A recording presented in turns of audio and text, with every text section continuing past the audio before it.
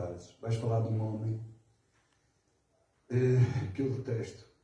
O Varandas é uma grande porcaria como homem. E sendo uma grande porcaria como homem, uma grande porcaria de presidente. E eu detesto o Varandas, odeio o Varandas, não gosto do Varandas. E digo mais. Ai de algum portista, e digo isto, ai de algum portista que algum dia cumprimente o Varandas, seja em que circunstâncias for. É o maior pirómano que há neste momento no futebol. Os atletas deles fazem isto que eu vou fazer. Peço desculpa às pessoas que nos estão a ver, mas handball, voleibol, eh, basquetebol, futebol, eles fazem isto. E eles fazem isto, os jogadores do Sporting, seja em que modalidade for. Peço desculpa mais uma vez, mas estou a repetir um ato em que eles fazem, portanto, constantemente, derivado a este Varandas.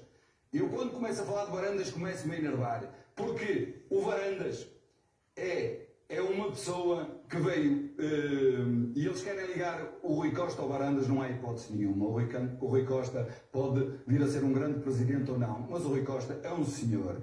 Uh, o Varandas não. O Varandas chegou à presidência do Sporting, todos nós sabemos como foi e porquê que foi. Responde a um ataque que não é um ataque, é uma verdade. O presidente Pinto da Costa diz: no Futebol Clube Porto, cada associado um voto. Não disse mentira nenhuma. No Benfica e no Sporting isso acontece, mas isso é um problema do Benfica e do Sporting. Mas isto é uma realidade. O que é que ele faria?